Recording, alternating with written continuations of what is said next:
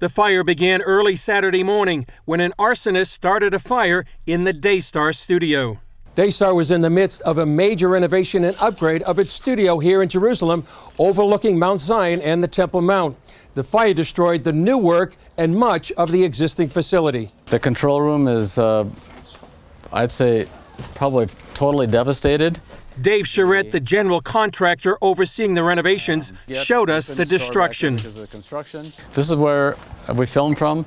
There were four cameras that would be, uh -huh. be back in this area here, and Marcus and Joni would be, or their interviewee would be sitting here, uh-huh. and then you have this fabulous view behind them. Yeah. These before and after shots reveal the extent of the devastation.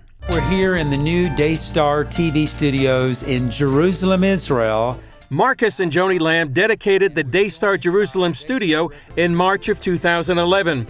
Daystar is one of the largest Christian television networks in the world that reaches more than 200 countries and nearly 700 million people with its programs. Even in the midst of the destruction, Charette believes God is at work. I believe that God has a, a, reason and a purpose, and at the very least, He'll redeem what has happened here. So these ashes will raise up, be raised up, and uh, proclaim the glory of God. Daystar pledges to continue their Jerusalem operations and asks for prayer for continued protection. Chris Mitchell, CBN News, Jerusalem.